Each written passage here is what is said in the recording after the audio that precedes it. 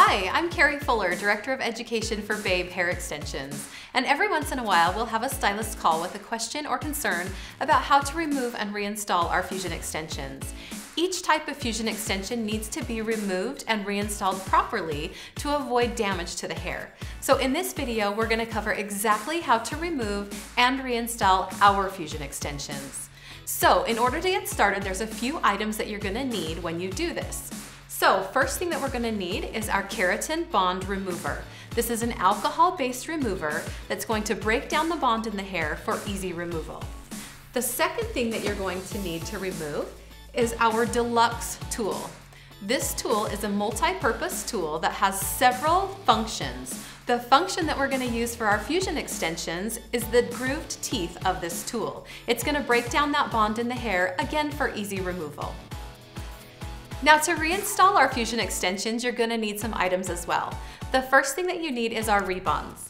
The rebonds are small pieces of keratin that are used to replace the old bond that is removed from the hair and reinstalled into the client's hair. The next thing that you're gonna need is our Pro Disc. Our Pro Disc is used to section off the hair and keep the flyaways away from the section that you're working with. And then the last thing that you're gonna need is our melting connector.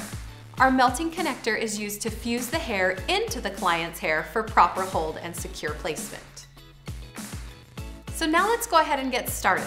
First thing I'm gonna do is turn our mannequin so that you can get a better view of the fusion extensions that we already have installed in her hair.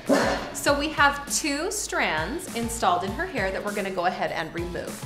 So the first thing that we're going to do is we're going to take our keratin remover and we're gonna apply that keratin remover, soaking each one of those bonds. We wanna make sure that we completely and thoroughly saturate each bond in the hair. We're gonna allow that to set for between 30 and 60 seconds. And then we're gonna take our deluxe tool and we're ready to remove them. Now, as we remove them, we want to place the bond into the grooved part of those teeth. And then we're gonna press those teeth down into the bond. We wanna press it all the way down the full length of the bond, turn it onto its side, and press it again. And you can see that bond starting to fall apart or come loose from the hair. It will turn kind of a powdery white color, and that's how you know it's ready to be removed. So once you feel like it's ready to be removed, just hold on to the client's hair and gently pull on that extension and remove it. Now, as we remove it, we wanna do a couple of things. If we're going to reuse this hair, we want to make sure that we pull it out and we keep that old bond intact so that we can easily remove it and reuse the hair. What we don't want to have happen is to have all of this hair shed and fall free from the strand, and then it would no longer be good to put back into the hair. So we're gonna take out the second one. Again, placing it inside of those teeth turning it onto its side,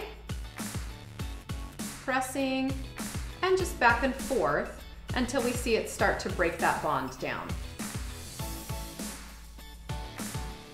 Again, once you feel like it's loosened up, grab a hold, hold on to the client's hair, and pull it free.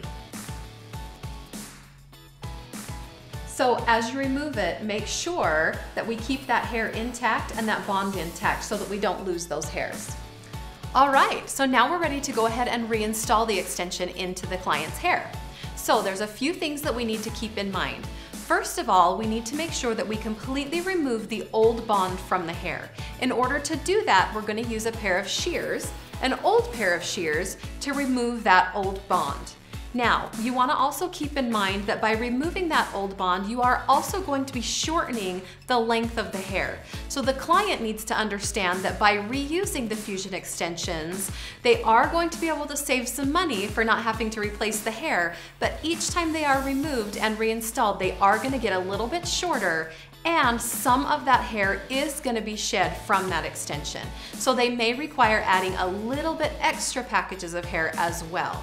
So just make sure that they keep that in mind before you're ready to remove and reuse them. All right, so let's go ahead and demonstrate how to do that. So keep in mind that the section of hair that we take to reinstall that extension on needs to be equal in weight to the extension itself that we're putting into it.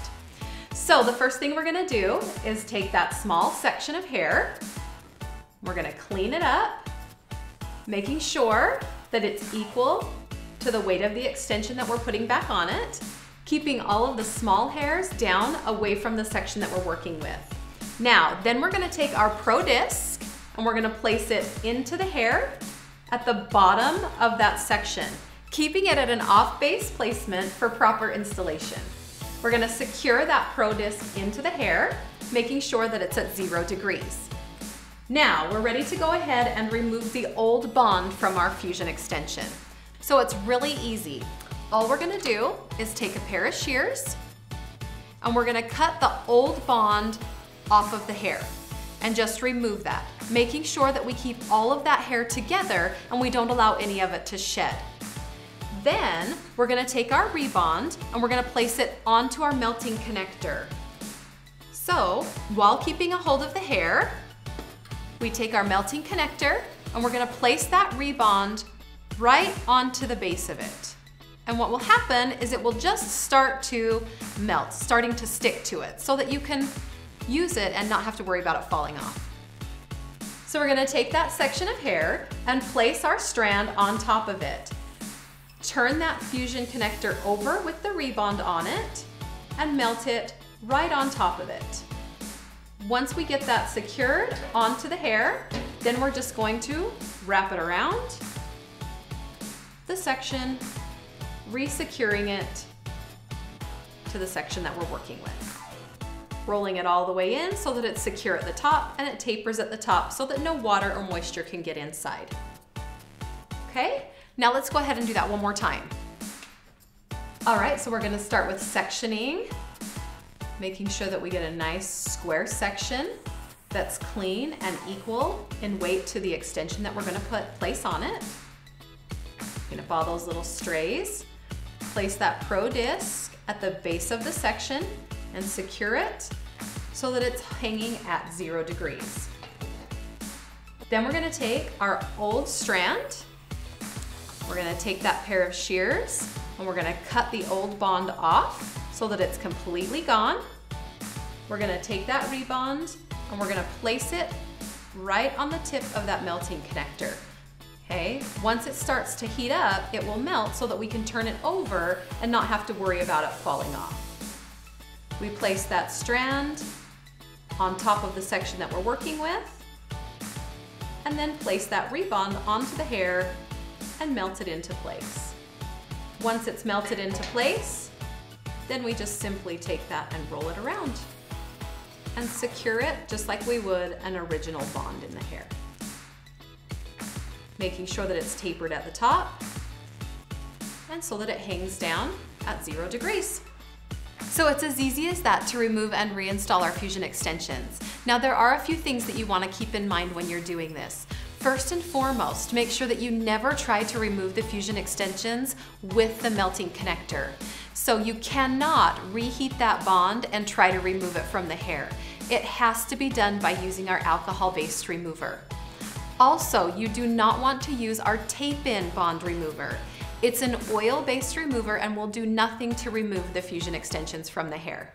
Another thing that I like to do when I'm removing my fusion extensions is when it comes to actually soaking the bonds, I will take the remover and I'll actually soak every single bond that I'm gonna remove from the head. So if I'm gonna do a full head removal, I will take the remover and soak every single bond on that head. And then I'll take a plastic cap, put it over the top of the client's hair, Place them under the dryer for about 10 to 15 minutes. That just helps to start softening the bonds to make it easier when it comes time to remove them. Take them back out of the dryer and then row by row, reapply my remover and then start taking the bonds out of the hair. It just helps save a little bit of time. So that's all there is to it. For more troubleshooting videos, check us out at our Babe YouTube page. I'm Kari with Babe. Have a wonderful hair day.